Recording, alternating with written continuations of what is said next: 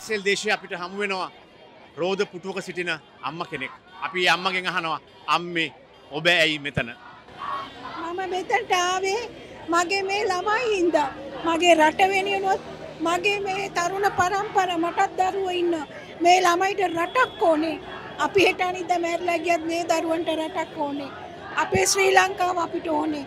අපිට මේ ගෝට මම ඡන්දෙ දීපු එක්කෙනෙක් ගෝටට.